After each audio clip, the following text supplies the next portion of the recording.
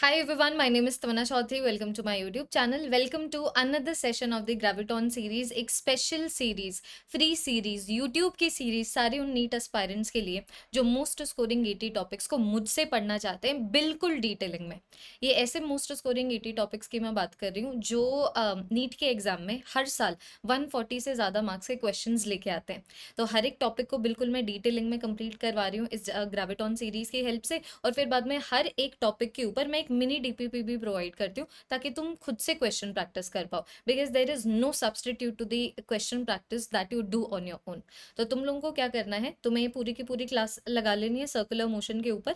फिर बाद में तुम्हें seven seven seven seven question series की ये वाली क्लास भी लगानी है। द रीजन बींग इसके अंदर ना मैंने क्वेश्चन प्रैक्टिस करवाई हुई है, और वो भी उन क्वेश्चन की हेल्प से जो फिजिक्स की टॉप बुक्स में से आ रहे हैं। जैसे कि S L Arora H C Verma D C Pandey तो मैं चाहती हूँ ये वाली क्लास को अटेंड करने के बाद, समझने के बाद सर्कुलर मोशन क्या है? समझने के बाद सर्कुलर मोशन की प्रॉपर्टीज़ क्या है? टाइप्स क्या है? उनसे एसोसिएटेड फ़िज़िकल क्वांटिटीज़ क्या है? उनसे एसोसिएटेड कन्वर्जन्स क्या है?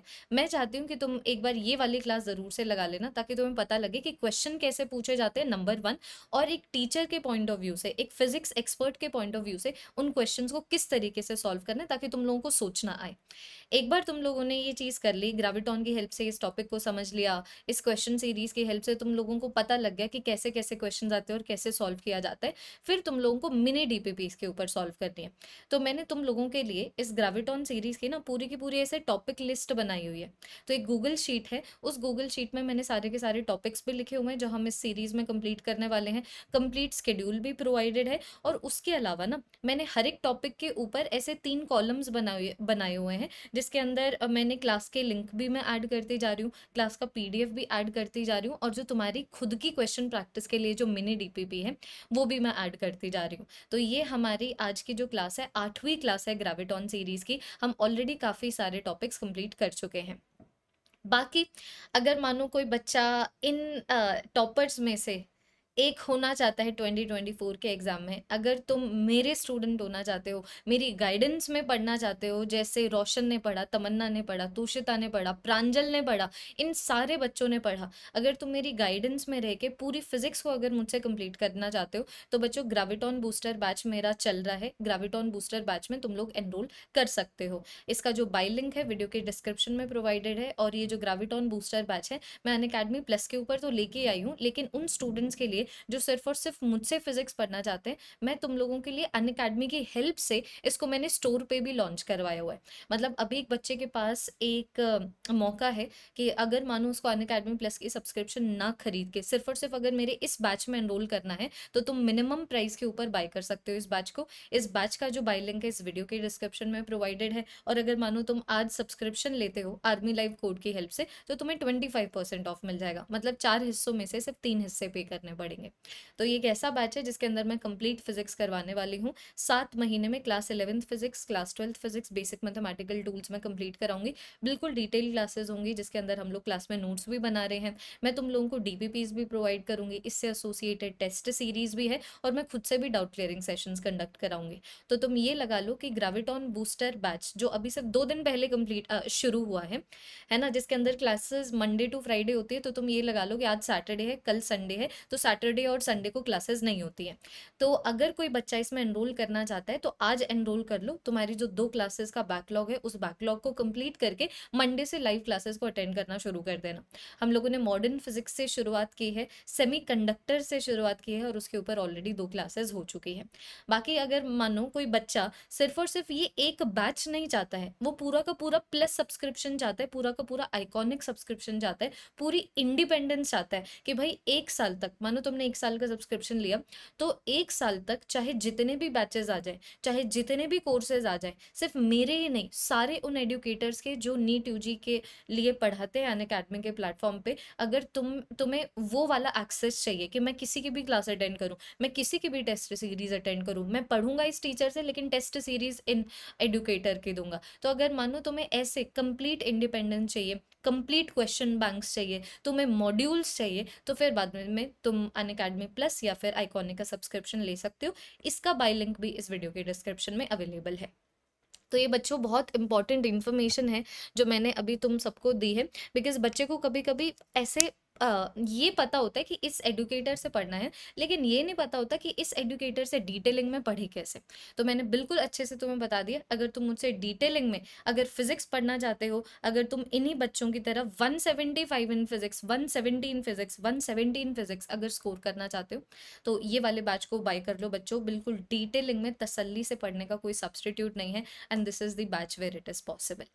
ठीक है जी? तो अभी बच्चों, हम लोग शुरू कर सकते हैं हमारी आज की क्लास को, जो किस टॉपिक के ऊपर है? सर्कुलर मोशन के ऊपर है। कल एक और क्लास है, जिसके अंदर मैं ऑब्लिक प्रोजेक्टाइल मोशन को पढ़ाऊँगी, ठीक है? तो अपने बेल नोटिफिकेशन ऑन रखना। ये वाली क्लास भी आज बारह बजे आ रही है, सत्रह जून को, और ये जो कल की क्लास है, ये भी बारह बजे आएगी। और अब सारी इन्फॉर्मेशन बिकॉज़ मैंने प्रोवाइड कर दी है तो अब फाइनली बच्चों, हम लोग आज की क्लास की शुरुआत कर सकते हैं, जिसके अंदर मैं तुम्हें सर्कुलर मोशन के बारे में बताऊँगी। देखो जब भी मैं सर्कुलर मोशन का नाम लूँ तो तुम्हारे दिमाग में सबसे पहली चीज़ यही आती है ना कि कोई चीज़ इस तरीके से गोल गोल घूम रही होगी, है ना? उसी का मतलब होता है सर्कुलर मोशन कि कोई चीज़ इस तरीके से गोल गोल घूम रही है। तो ये जो सर्कुलर मोशन है ना, वो भी बच्चों दो तरीके के हैं। एक तो ये है कि कोई चीज़ गोल गोल घूल, घूम रही है, लेकिन एक कांस्टेंट स्पीड के साथ कि मानो यहाँ पर दो मीटर पर सेकेंड था तो यहाँ पर भी दो मीटर पर सेकेंड आया, यहाँ पर भी दो मीटर पर सेकेंड आया। फिर एक ऐसा सर्कुलर मोशन भी होता है जिसमें ये जो स्पीड है इंक्रीज भी कर सकती है डिक्रीज भी कर सकती है। जैसे कि चार मीटर पर सेकेंड से तीन मीटर पर सेकेंड हो गया, फिर दो मीटर पर सेकेंड हो गया, इस तरीके से। तो मैं बोल रही हूँ, दो तरीके के सर्कुलर मोशन है, एक जिसके अंदर स्पीड सेम रहे और एक जिसके अंदर स्पीड चेंज हो जाए। और यही बेसिस है जिसके ऊपर हम लोग सर्कुलर मोशन को दो कैटेगरी के अंदर डिवाइड करते हैं, एक यूनिफॉर्म सर्कुलर मोशन और एक नॉन यूनिफॉर्म सर्कुलर मोशन तो अभी मैंने तुम लोगों को एक बेसिक ओवरव्यू दिया है, सबसे पहले ऐसा करते हैं, पहले हम सर्कुलर मोशन यूनिफॉर्म नेचर को समझते हैं। तो देखो यूनिफॉर्म का मतलब ही होता है जो अपने नेचर को चेंज नहीं कर रहा है। तो अगर मानो मैं यूनिफॉर्म सर्कुलर मोशन की बात करूँ तो ये वैसा सर्कुलर सर्कुलर मोशन है, जिसके अंदर जो बॉडी है, एक सर्कल में घूम तो रही है, लेकिन बिल्कुल कॉन्स्टेंट स्पीड के साथ। कि मानो अगर यहाँ पर वी की स्पीड थी तो यहाँ पर भी वी की स्पीड है, यहाँ पर भी वी की स्पीड है, यहाँ पर भी वी की स्पीड है, यहाँ पर भी स्पीड है। वी की। अगर ये दस मीटर पर सेकेंड, यहाँ पर भी दस मीटर पर सेकेंड, यहाँ पर भी दस मीटर पर सेकेंड, यहाँ पर भी दस मीटर पर सेकेंड। तो एक ऐसा सर्कुलर मोशन जिसके अंदर स्पीड एक बॉडी की कॉन्स्टेंट रहे, जहाँ पर मैग्नीट्यूड ऑफ़ वेलोसिटी एक बॉडी का कांस्टेंट रहे बिकॉज़ स्पीड और वेलोसिटी दो डिफरेंट डिफरेंट टर्म्स हैं। तो मैं बोल रही हूँ कि या तो स्पीड कांस्टेंट रहे, या फिर मैग्नीट्यूड ऑफ़ वेलोसिटी कांस्टेंट रहे, ऐसे सर्कुलर मोशन को हम लोग यूनिफॉर्म सर्कुलर मोशन बोलते हैं। तो यहाँ पर जो स्पीड है या फिर मैग्नीट्यूड ऑफ़ वेलोसिटी वो चेंज नहीं होता है, लेकिन ऑब्वियसली बात है डायरेक्शन को तो चेंज होना पड़ेगा ना यार। अगर डायरेक्शन चेंज नहीं होगी तो कोई भी बॉडी सर्कुलर मोशन में घूम ही नहीं सकती। एक बार तुम खुद सोच के देखो, मानो एक बॉडी ऐसे घूम रही है। अब अगर इसको मानो एक बॉडी ऐसे जा रही है, अब अगर इसको सर्कुलर मोशन में एंटर करना है तो इसको अपनी डायरेक्शन ऑफ़ वेलोसिटी चेंज करनी पड़ेगी, है ना? फिर दोबारा से डायरेक्शन ऑफ़ वेलोसिटी चेंज करनी पड़ेगी। सो डायरेक्शन ऑफ़ वेलोसिटी का चेंज होना एक सर्कुलर मोशन के लिए वाइटल है। ऐसा सर्कुलर मोशन पॉसिबल ही नहीं है, जहाँ पर वेलोसिटी अपनी डायरेक्शन को ना चेंज करे। तो आई कैन से कि यार, यहाँ पर अलग सी चीज़ हो रही है कि जो वेलोसिटी है, अपना मैग्नीट्यूड तो चेंज नहीं कर रही, लेकिन अपनी डायरेक्शन चेंज कर रही है। तो वेलोसिटी वेक्टर है ना बच्चों? वेक्टर में क्या होता है कि वेक्टर की दो प्रॉपर्टीज़ होती है। एक तो है मैग्नीट्यूड और दूसरा है डायरेक्शन यूनिफॉर्म सर्कुलर मोशन में मैग्नीट्यूड सेम रह रहा है, लेकिन जो डायरेक्शन है, वो चेंज हो रही है। तो अल्टीमेटली आई कैन से कि जो वेलोसिटी है, वो चेंज हो रही है। It is very similar to understanding कि मानो मेरे पास अभी एक ऐसा एग्ज़ाम है, जिसके अंदर दो सब्जेक्ट्स हैं। अब तुम्हें उन दोनों सब्जेक्ट्स में पास होना ही पड़ेगा अगर तुम उस एग्ज़ाम को पास करना चाहते हो। है ना? तो ऑब्वियसली बात है, अगर ये सिनारियो है तो अगर तुम ए सब्जेक्ट में पास होके बी सब्जेक्ट में फेल हो जाते हो, तुमने एग्ज़ाम फेल कर दी। और अगर तुम ए सब्जेक्ट में फेल होके बी सब्जेक्ट में पास हो जाते हो तो भी तब भी तुम लोगों ने एग्ज़ाम को फेल कर दिया। मैं बिल्कुल सेम सिनारियो की बात कर रही हूँ कि वेक्टर की दो प्रॉपर्टीज़ है, एक आ जाता है मैग्नीट्यूड दूसरा आ जाता है डायरेक्शन अगर आप बोलना चाहते हैं कि वेक्टर चेंज नहीं हो रहा है तो ना तो डायरेक्शन चेंज होनी चाहिए, ना मैग्नीट्यूड चेंज होना चाहिए। So now do you understand कि कैसे यहाँ पर वेलोसिटी एक वेक्टर है जिसका भले ही मैग्नीट्यूड नहीं चेंज हो रहा, लेकिन उसकी डायरेक्शन चेंज हो रही है तो मैं बोल दूँगी कि जो वेलोसिटी है वो चेंज होगा। ठीक है? तो ये तीन बड़े इंपॉर्टेंट पॉइंट्स है कि जो स्पीड है या फिर मैग्नीट्यूड ऑफ़ वेलोसिटी वो चेंज नहीं होता है। वेलोसिटी की डायरेक्शन चेंज हो रही है और तो आई कैन से अल्टीमेटली जो वेलोसिटी है वो भी चेंज हो रहा है। तो फिर तुम्हारे दिमाग में आना चाहिए कि यार यहाँ पर एक तरीके का एक्सेलरेशन है। तो बिकॉज़ कभी भी अगर वेलोसिटी चेंज होगी it there has to be certain kind of acceleration involve because what is acceleration the rate at which the velocity changes तो आई कैन से कि यार यहाँ पर एक ऐसा एक्सेलरेशन होना चाहिए, जो वेलोसिटी के मैग्नीट्यूड को नहीं छेड़ रहा है, सिर्फ़ और सिर्फ़ उसकी डायरेक्शन को छेड़ रहा है। तो मानो अगर बच्चों, ये मेरे पास this is the direction of the velocity मैं बोलूँ कि एक्सेलरेशन ऐसे लग जाए। तो तुम देखो ना कि अगर एक्सेलरेशन ऐसे लग जाए तो वो वेलोसिटी के मैग्नीट्यूड को कभी भी नहीं छेड़ेगा। तो हमने फिर यहाँ पर देखा कि सर्कुलर मोशन में एक ऐसा एक्सेलरेशन होता है, जो वेलोसिटी का मैग्नीट्यूड छेड़े बिना वेलोसिटी की डायरेक्शन को चेंज करता है कंटिन्यूसली और ऐसा जो एक्सेलरेशन है, उसको सेंट्रीपीटल एक्सेलरेशन बोला जाता है। तो मानो मेरे पास एक ऐसा सर्कुलर मोशन है, जिसमें जो बॉडी है कॉन्स्टेंटली वी की स्पीड से मूव कर रही है, एक ऐसे सर्कल में जिसके रेडियस की वैल्यू आर है तो जो सेंट्रीपीटल एक्सेलरेशन है it is going to be given by V square divided by R तो मानो अगर मैं तुम्हें बोलूँ कि यहाँ पर जो वेलोसिटी है, ऐसे है तो सेंट्रीपीटल एक्सेलरेशन ऐसे लगता है। Centripetal acceleration is always directed towards the centre of the circle and it is always going to be perpendicular to the velocity for example अगर मानो यहाँ पर अब बॉडी आ गई, अब यहाँ पर बॉडी आ गई तो वेलोसिटी ऐसे होगी तो अब की बार जो सेंट्रीपीटल एक्सेलरेशन है, ऐसे लगेगा। तो यहाँ से तुम्हें एक और चीज़ समझ आनी चाहिए कि अगर मानो मेरे पास यूनिफॉर्म सर्कुलर मोशन है तो सेंट्रीपीटल एक्सेलरेशन का मैग्नेट्यूड सेम रहा, लेकिन उसकी डायरेक्शन चेंज हो रही है कि ये वाले पॉइंट पे सेंट्रीपीटल एक्सेलरेशन की डायरेक्शन ये थी, फिर ये थी, फिर यहाँ पर ऐसे हो जाएगी, फिर यहाँ पर ऐसे हो जाएगी। Because centripetal acceleration always have to point towards the centre of the circle So just like velocity is uh, in uniform circular motion, how it only changes in the direction, not in the magnitude. Similarly, centripetal acceleration also in uniform circular motion is constant in magnitude, but its direction changes. Here it is in this direction, here it is in this direction, but whatsoever, it will always point towards the center of the circle. ठीक है तो क्या मैं यहाँ पर ये चीज़ बोल सकती हूँ कि change in the magnitude of the velocity is zero इसका मतलब क्या है? चेंज किसमें चेंज मैग्नीट्यूड ऑफ़ वेलोसिटी में। मैग्नीट्यूड ऑफ़ वेलोसिटी बोले तो स्पीड तो change in magnitude of velocity का मतलब चेंज इन स्पीड यहाँ पर क्या है? ज़ीरो है। लेकिन यहाँ पर magnitude of change in velocity zero नहीं है। क्योंकि दोनों का अलग मतलब है। भले तुम लोगों को सिमिलर साउंड हो रहे हो, लेकिन दोनों का मतलब बिल्कुल अलग है। पहले वाले का मतलब है कि मैग्नीट्यूड ऑफ़ वेलोसिटी में जो चेंज आ रहा है वो शून्य है। मतलब स्पीड में जो चेंज आ रहा है, वो ज़ीरो है। दूसरा जो स्टेटमेंट है, वो बोल रहा है कि जो वेलोसिटी के अंदर चेंज आ रहा है, उसका मैग्नेट्यूड ज़ीरो नहीं है। और सही बात है, सही बात है वेलोसिटी चेंज हो रही है ना? तो वेलोसिटी चेंज हो रही है तो चेंज इन वेलोसिटी का मैग्नेट्यूड ज़ीरो कैसे होगा? अगर मानो मैं तुम्हें बोलूँ कि पहले यहाँ पर बॉडी ऐसे वी की वेलोसिटी से मूव कर रहा था, फिर ऐसे मूव करते करते यहाँ पर चला गया, अब ऐसे वी की वेलोसिटी से मूव कर रहा है। तो अगर मैं तुमसे पूछूँ कि बताओ what is the change in the magnitude of the velocity इसका मतलब मैं तुमसे ये पूछ रही हूँ what is the change in the speed तो क्या यहाँ पर स्पीड में चेंज आ रहा है? नहीं भाई, अगर यहाँ पर मानो दस मीटर पर सेकेंड था तो यहाँ पर भी दस मीटर पर सेकेंड है। लेकिन अगर मानो मैं तुमसे पूछूँ कि बताओ वेलोसिटी जो चेंज हुई है, उसका मैग्नीट्यूड कितना है? So magnitude of change in velocity ये थोड़ी ना ज़ीरो होगा। तो तुम यहाँ पर देख पा रहे हो कि दोनों वेक्टर्स एक दूसरे से परपेंडिकुलर हैं। तो अगर मानो मैं वेक्टोरिकली सब्ट्रैक्ट करूँ, तब भी मैं पाइथागोरस लगा सकती हूँ। तो यहाँ पर चेंज इन वेलोसिटी का मैग्नीट्यूड कितना आ जाएगा? टेन अंडर रूट टू मैं इसके ऊपर ज़्यादा फोकस नहीं कर रही हूँ बिकॉज़ आज की हमारी जो क्लास है वेक्टोरिकल सब्ट्रैक्शन से एसोसिएटेड नहीं है।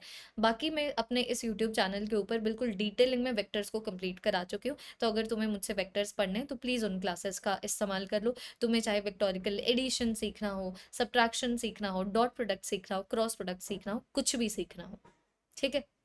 So i can say that the magnitude of the change in velocity magnitude of the change in velocity is not zero because the velocity changes but because the magnitude of the velocity does not change so the change in the magnitude of the velocity in zero इसको देखो ऐसे लिखा जाता है। किसमें change की बात कर मैग्नीट्यूड ऑफ़ वेलोसिटी में। मैग्नीट्यूड ऑफ़ वेलोसिटी क्या होता है? स्पीड तो ऊपर वाला स्टेटमेंट ये बोल रहा है। नीचे वाला स्टेटमेंट बोल रहा है मैग्नीट्यूड किसका मैग्नीट्यूड चेंज इन वेलोसिटी का। तो ऑब्वियसली बात है ये थोड़ी ज़ीरो है।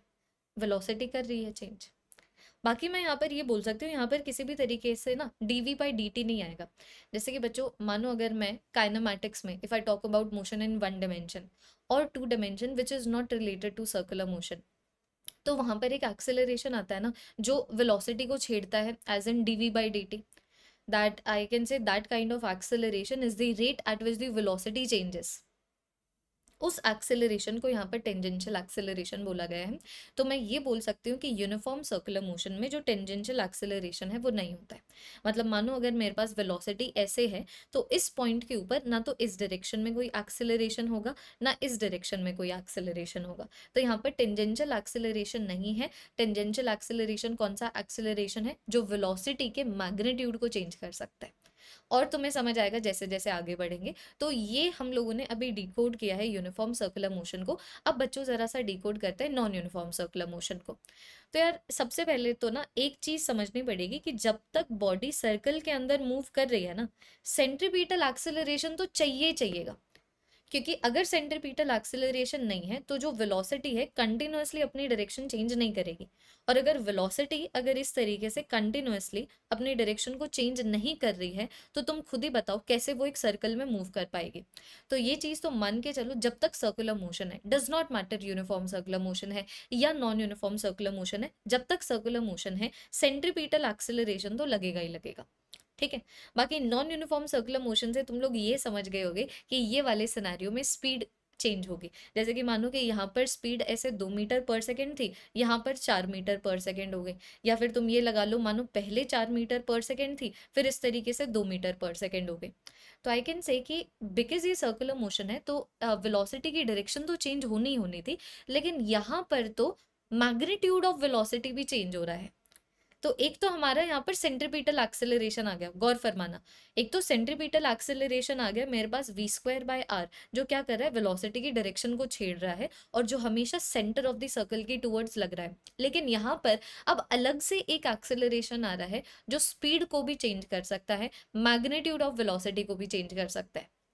जैसे कि मानो अगर मैं बोलूँ कि यहाँ पर पहले बॉडी दो मीटर पर सेकेंड से मूव कर रही थी, फिर चार मीटर पर सेकेंड से मूव कर रही है। तो आई कैन से ना कि यहाँ पर वेलोसिटी को सपोर्ट किया गया है। तो वेलोसिटी को सपोर्ट तभी किया जाता है ना जब एक्सेलरेशन वेलोसिटी की डायरेक्शन में हो। तो आई कैन से कि यार यहाँ पर ये वाली वेलोसिटी सपोर्ट हो रही है। ये इसीलिए पॉसिबल होगा क्योंकि इस डायरेक्शन में भी एक एक्सेलरेशन है। बस उसी एक्सेलरेशन को टेंजेंशियल एक्सेलरेशन बोला जाता है। और ऐसा भी हो सकता था कि मानो बॉडी पहले ऐसे दस मीटर पर सेकेंड से मूव कर रही है, फिर ऐसे चार मीटर पर सेकेंड से मूव कर रही है। तो यहाँ पर जो स्पीड है या फिर मैग्नीट्यूड ऑफ़ वेलोसिटी है, उसको सपोर्ट नहीं किया गया। तो वेलोसिटी को सपोर्ट ना किए जाने का मतलब ये है कि जो एक्सेलरेशन है, वेलोसिटी के ऑपोजिट डायरेक्शन में कि मानो ये मेरे पास ऐसे दस मीटर पर सेकेंड था, यहाँ पर एक्सेलरेशन ऐसे आ गया। तो एक्सेलरेशन ऐसे आ गया तो उसने मैग्नीट्यूड ऑफ़ द स्पीड को, सॉरी, मैग्नीट्यूड ऑफ़ वेलोसिटी को कम कर दिया या स्पीड को कम कर दिया। तो तुम सिर्फ़ इतना समझो सेंट्रीपीटल एक्सेलरेशन के बस में मैग्नीट्यूड को चेंज करना नहीं है। सेंट्रीपीटल एक्सेलरेशन सिर्फ़ और सिर्फ़ डायरेक्शन को चेंज करता है ताकि बॉडी एक सर्कुलर मोशन में घूम सके। एक्चुअली में जो मैग्नीट्यूड ऑफ़ द वेलोसिटी को छेड़ता है या फिर जो स्पीड को छेड़ता है, वो टेंजेंशियल एक्सेलरेशन है। जो अगर वेलोसिटी की डायरेक्शन में लगे तो वो स्पीड को इंक्रीज कर देगा। और मानो अगर वेलोसिटी के ऑपोजिट डायरेक्शन में लगे तो स्पीड को डिक्रीज कर देगा या फिर मैग्नीट्यूड ऑफ़ द वेलोसिटी को डिक्रीज कर देगा।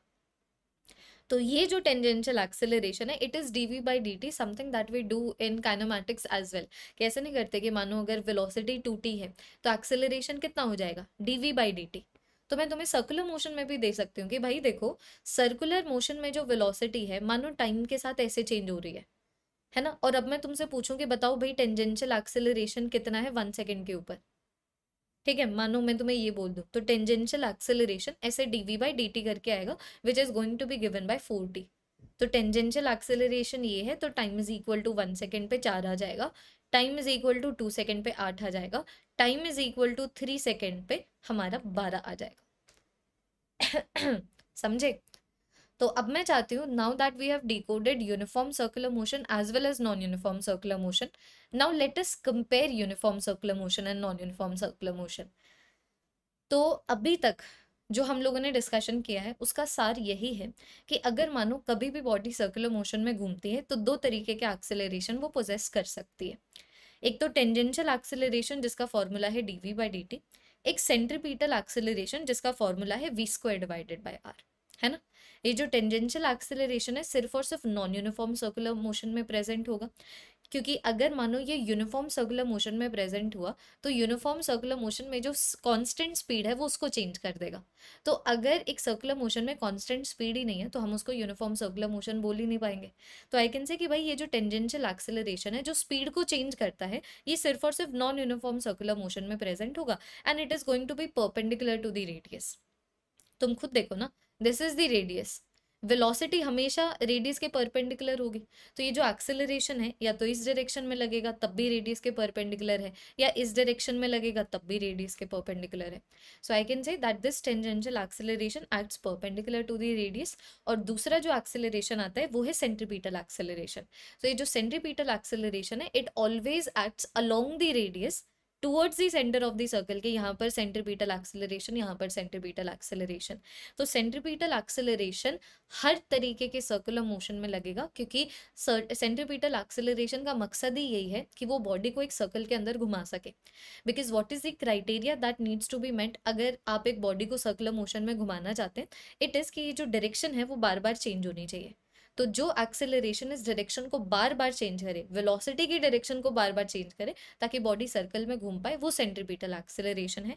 ये उसका फॉर्मूला होता है। ये यूनिफॉर्म सर्कुलर मोशन में भी प्रेजेंट होगा और नॉन यूनिफॉर्म सर्कुलर मोशन में भी प्रेजेंट होगा। तो अभी मानो, अगर मैं इस सारे डिस्कशन के बेसिस के ऊपर let me take an example of uniform circular motion देखो, मानो अगर मैं यूनिफॉर्म सर्कुलर मोशन की बात करूँ तो यहाँ पर सिर्फ़ एक ही एक्सेलरेशन है, जो कि ये सेंट्रीपीटल एक्सेलरेशन तो मानो, अगर मैं किसी भी गिवन पॉइंट ऑफ़ टाइम पे तुमसे पूछूँ कि बॉडी का एक्सेलरेशन कितना होगा, जो यूनिफॉर्म सर्कुलर मोशन में घूम रहा है, तुम्हें सिर्फ़ और सिर्फ़ सेंट्रीपीटल एक्सेलरेशन निकालना है। लेकिन, अगर मानो मैं नॉन यूनिफॉर्म सर्कुलर मोशन की बात करूँ और फिर मैं तुम्हें बोलूँ कि बताओ भाई, ये वाले पॉइंट के ऊपर, इस टाइम के ऊपर बॉडी का एक्सेलरेशन कितना है? तो बॉडी के दो एक्सेलरेशन है। एक तो centripetal acceleration is which is v square by r अब बिकॉज़ यहाँ पर जो वी है it is the magnitude of velocity और नॉन यूनिफॉर्म सर्कुलर मोशन में ये जो मैग्नीट्यूड ऑफ़ वेलोसिटी है, वो भी चेंज होता है। तो अगर मैं तुमसे यहाँ पर पूछूँ एक्सेलरेशन कितना है तो तुम्हें अच्छे से पता है, दो एक्सेलरेशन है, एक सेंट्रीपीटल एक टेंजेंशियल मैं बोलना ये चाहती हूँ कि तुम्हें फिर इस पॉइंट के ऊपर सेंट्रीपीटल एक्सेलरेशन निकालने के लिए इस पॉइंट पर वेलोसिटी निकालनी पड़ेगी।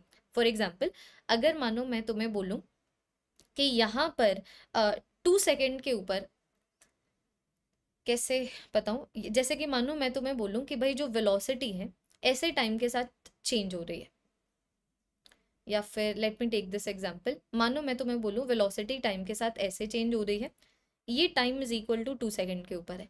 अब मैं तुमसे पूछूँ कि ये जो body non uniform circular motion में घूम रही है, जिसकी स्पीड ऐसे चेंज हो रही है, अगर दो सेकेंड पे वो यहाँ पर है I can ask you anything I can ask you इस पॉइंट पे सेंट्रीपीटल एक्सेलरेशन कितना है? आई कैन आस्क यू इस पॉइंट पे टेंजेंशियल एक्सेलरेशन कितना है? I can ask you net acceleration कितना है? तो मानो, अगर मैं सेंटर अगर मानो मैं टेंजेंशियल एक्सेलरेशन की बात करूँ, वो तो सबसे ज़्यादा ईजी है। वो आ जाएगा मेरे पास d v by d t तो d v by d t कर दूँ तो मेरे पास फोर टी आ जाता है। तो दो सेकेंड के ऊपर है ना? दो सेकंड के ऊपर जो यहाँ पर टेंजेंशियल एक्सेलरेशन होगा it is eight metre per second square तो यहाँ पर मैं बोल दूँगी यहाँ पर टेंजेंशियल एक्सेलरेशन है eight metre per second square का। अब यहाँ पर सेंट्रीपीटल एक्सेलरेशन निकालने के लिए मुझे इस पॉइंट पे वेलोसिटी चाहिए। मतलब मुझे time is equal to two second पे वेलोसिटी चाहिए। तो यहाँ पर time is equal to two second put कर दो तो फिर सेंट्रीपीटल एक्सेलरेशन आ जाएगा which is time is equal to two second के ऊपर वेलोसिटी कितनी है? पुट करना यहाँ पर। टू मल्टीप्लाइड बाई टू का स्क्वायर प्लस थ्री, आठ प्लस तीन ग्यारह तो यहाँ पर आ जाएगा ग्यारह का square divided by the radius. अब मेरे पास सेंट्रीपीटल एक्सेलरेशन भी आ गया, टेंजेंशियल एक्सेलरेशन भी आ गया, अब इन दोनों को विक्टोरिकली ऐड करके मैं नेट एक्सेलरेशन निकाल सकती हूँ। ये देखो कभी कभी ये वाला एंगल भी पूछा जाता है। तो निकाल लेंगे ना, अगर मानो मुझे ये पता लग गया और ये पता लग गया तो मुझे ये पता लग जाएगा। अगर मुझे सारी चीज़ें पता है तो मैं ये वाला एंगल भी निकाल सकती हूँ, ये वाला एंगल भी निकाल सकती हूँ। ये वाली क्वेश्चन सीरीज़ की क्लास ज़रूर से देख लेना बच्चों बिकॉज़ तुम लोगों की जो प्रिपरेशन हो जाएगी ना, ये वाले टॉपिक के ऊपर it is going to be next level और बहुत इंपॉर्टेंट टॉपिक है। मतलब this is the basis the reason being कि अगर तुम्हें ये नहीं पता है ना तो रोटेशन मोशन के अंदर जो सर्कुलर मोशन आता है, तुम उसके क्वेश्चन को कभी सॉल्व कर ही नहीं पाओगे। ठीक है? अब नेक्स्ट फिर बाद में मैं कुछ ऐसे टर्म्स को भी इस्तेमाल करना चाहती हूँ या फिर ऐसे टर्म्स के बारे में, ऐसे फ़िज़िकल क्वांटिटीज़ के बारे में भी बताना चाहती हूँ जो सर्कुलर मोशन से एसोसिएटेड है। जैसे कि पहले आ जाता है टाइम पीरियड तो टाइम पीरियड बेसिकली उतना टाइम है जो एक बॉडी को लगेगा एक सर्कल को कंप्लीट करने में। इसका जो ऐसा यूनिट है वो सेकेंड है। दूसरा आ जाता है फ्रीक्वेंसी फ्रीक्वेंसी का मतलब है एक सेकंड में बॉडी कितने सर्कुलर मोशंस कंप्लीट कर रही है। जैसे कि मानो मैं तुम्हें बोलूँ कि एक सेकंड में बॉडी ने ऐसे दस सर्कुलर मोशन कंप्लीट कर लिए मतलब एक सेकंड में बॉडी ने दस सर्कुलर साइकिल्स कंप्लीट कर ली मतलब एक सेकंड में बॉडी ने दस रेवोल्यूशंस कंप्लीट कर लिए। तो आई कैन से कि frequency is going to be ten revolutions per second तो इसका जो ऐसा यूनिट है it is revolutions per second और उसी तरीके से अभी अगर मैं एंगुलर वेलोसिटी की बात करूँ तो बच्चों नॉर्मल वेलोसिटी नहीं होता। नॉर्मल वेलोसिटी क्या होता है कि किस रेट से जो लीनियर डिस्प्लेसमेंट है, वो टाइम के साथ चेंज हो रहा है। तो जिस रेट के साथ लीनियर डिस्प्लेसमेंट टाइम के साथ चेंज हो जाए, वो लीनियर वेलोसिटी होता है। उसी तरीके से किस रेट के साथ एंगुलर डिस्टेंस टाइम के साथ चेंज हो रहा है, वो एंगल वो हमारे पास एंगुलर वेलोसिटी है।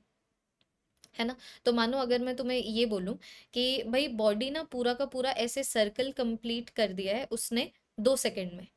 तो तुम क्या यहाँ पर देख पा रहे हो? पूरा का पूरा टू पाई रेडियन कवर किया है। एंगुलर डिस्प्लेसमेंट कितना कवर किया है?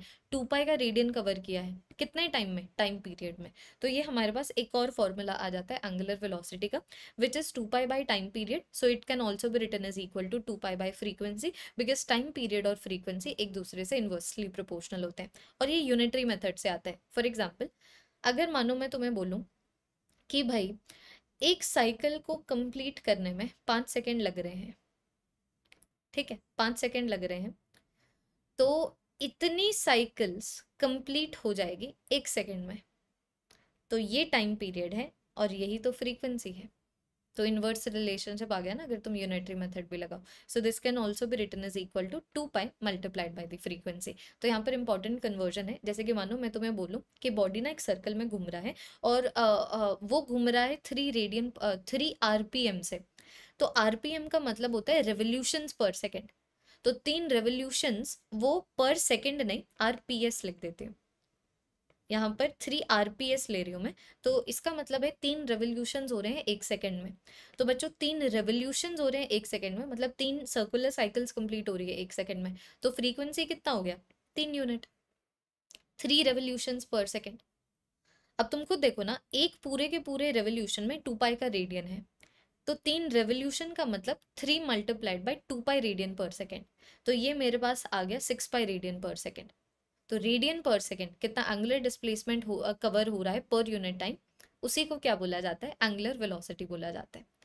ठीक है? जैसे कि अभी मैं तुम्हें इस पर्टिकुलर डायग्राम से समझाने की कोशिश करती हूँ, यहाँ से मैंने वी और आर को रिलेट ओमेगा और वी को रिलेट किया जैसे कि मानो बॉडी ना, क्या कर रही है? पूरा का पूरा एक सर्कुलर मोशन कंप्लीट कर रही है।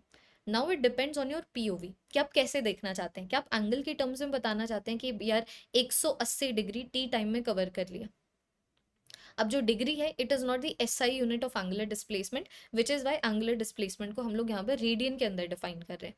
तो मैं बोल दूँगी टू पाई के रेडियन को टी टाइम में कवर किया। तो angular displacement two pi cover किया टी टाइम में where t is the time period तो ये मेरा एंगुलर वेलोसिटी है। और मानो अगर मैं यहाँ पर एंगुलर डिस्प्लेसमेंट की टर्म्स में ना देखे ये इस तरीके से लीनियर डिस्टेंस के टर्म्स में देखूँ कि भाई यहाँ पर जो बॉडी है, पूरा का पूरा टू पाई आर का डिस्टेंस कवर की है टी के टाइम में। तो ये linear displacement divided by time है। Sorry linear distance divided by time है तो ये मेरे पास वेलोसिटी आ गया। तो ये मेरे पास ओमेगा हुआ, ये मेरे पास वेलोसिटी हुआ तो तुम ओमेगा और वेलोसिटी के बीच में रिलेशनशिप देख पा रहे हो। ठीक है तो अगर मानो तुम्हें ये वाले पॉइंट के ऊपर वेलोसिटी पता है और रेडियस पता है तो तुम्हें यहाँ पर एंगुलर वेलोसिटी पता होगा। तो जो एंगुलर वेलोसिटी है, जैसे कि देखो this is the plane of rotation तो यहाँ पर चाहे मैं बच्चों टेंजेंट मानो वेलोसिटी इस डायरेक्शन में this is the plane of rotation तो यहाँ पर टेंजेंशियल एक्सेलरेशन भी इसी प्लेन में होता है सेंट्रीपीटल एक्सेलरेशन भी इसी प्लेन में होता है रेडियस भी इसी प्लेन में होता है. लेकिन जो एंगुलर वेलोसिटी और एंगुलर एक्सेलरेशन है, जिसके ऊपर हम लोग ज़्यादा ज़िक्र करेंगे, एक बार जब हम लोग सर्कुलर मोशन को rotational motion you know rotational mechanics के पर्सपेक्टिव से देखेंगे तो ये जो एंगुलर वेलोसिटी और एंगुलर एक्सेलरेशन होते हैं, इस तरीके से परपेंडिकुलर टू दी प्लेन होते हैं. तो मैं तुम्हें बोल रही हूँ सेंटर बीटल एक्सेलरेशन का ये वाला फॉर्मूला लिखा हम लोगों को मिला था। अब वी की वैल्यू को पुट कर दो which is equal to omega r तो हमारे पास एक और फॉर्मूला आ जाता है। और ये बच्चों, जितनी भी चीज़ें जितने भी पॉइंट सर्कुलर मोशन से एसोसिएटेड थे, वो मैंने इस तरीके से सर्कुलर मोशन को ऐसे छोटे छोटे सब टॉपिक्स में डिवाइड करके कंप्लीट करा दिया है। अगर तुम लोगों को ये वाली क्लास पसंद आई है तो बच्चों हैश टैग ग्राविटॉन एट का कमेंट मुझे ज़रूर से दिख जाए कि हाँ मैम हमने इस एट्थ क्लास की हेल्प से सर्कुलर मोशन को निपटा लिया है। ठीक है? ये जो बच्चों टॉपिक लिस्ट और कंप्लीट स्केड्यूल की लिस्ट है, इसके अंदर मैं क्लास का लिंक भी ऐड कर दूँगी, ये क्लास का पीडीएफ भी ऐड कर दूँगी मिनी डीपीपी भी ऐड कर दूँगी, लेकिन प्लीज़ ये वाले स्टेप को मत मिस करना, क्योंकि इस क्लास में मैंने तुम लोग को सर्कुलर मोशन पढ़ाया है। अब मैं चाहती हूँ तुम एक बार ज़रा सा मेरी हेल्प से थोड़े से क्वेश्चन डिस्कस करो और फिर बाद में मिनी डीपीपी की हेल्प से खुद से क्वेश्चन प्रैक्टिस कर लो। That is all everyone अगर मुझसे पूरी फिजिक्स पढ़ना चाहते हो तो I already told you Graviton booster batch is the one for all of you That is all. Thank you so much. Adios.